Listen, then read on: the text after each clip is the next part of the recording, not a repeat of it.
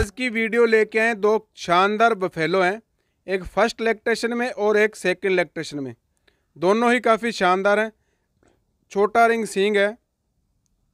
तो जिस भी भाई ने भैंस परचेज करनी हो, वो नीचे कॉन्टैक्ट नंबर दिए जा रहे हैं, सतगुरु डेयरी फार्म, केसरी सिंहपुर, जिला श्री गंगानगर, और स्टेट राजस्थान। कोई भी भाई नंबरों पे कांटेक्ट कर सकते हैं और इन भैंसों के बारे में अधिक जानकारी ले सकते हैं। तो ये एक फ़र्स्ट इलेक्ट्रेशन की जोटी है, छोटे रिंग सिंग के अंदर। पीछे फीमेल काफ यानी कटड़ी है। बहुत ही अच्छी, छोटा सिंग, हाइट उइट बड़ी अच्छी है। और एक ये सेकेंड इलेक्ट्रेशन की भैंस है। एक सिंग बिल्कुल छोटा है, एक सिंग टूटा हुआ है जिसका।